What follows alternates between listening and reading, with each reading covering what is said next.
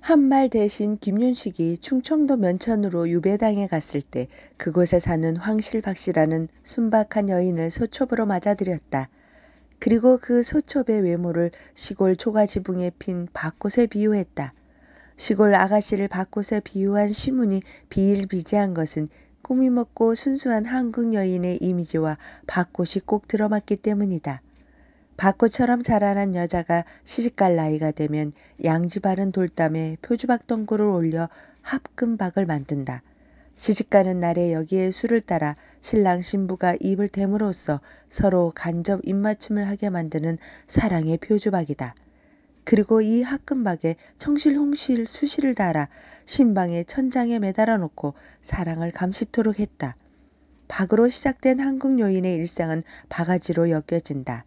곡식을 푸고 식수를 푸고 장을 푸는 생활 도구가 바가지 일색이요. 가난한 집에서는 밥그릇이다.